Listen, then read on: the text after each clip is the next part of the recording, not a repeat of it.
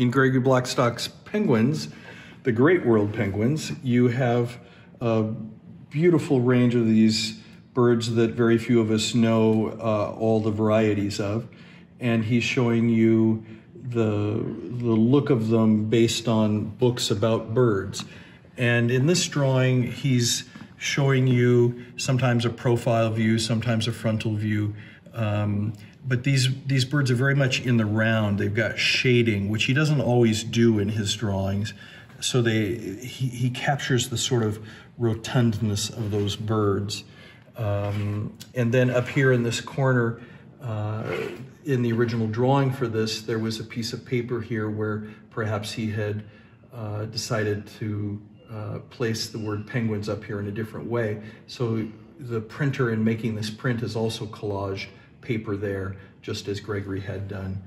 Um, I think this is a particularly charming drawing uh, and print by Gregory, and his subjects are not always charming. They're often very strong subjects, and this one I think um, has a good deal of sweetness to it.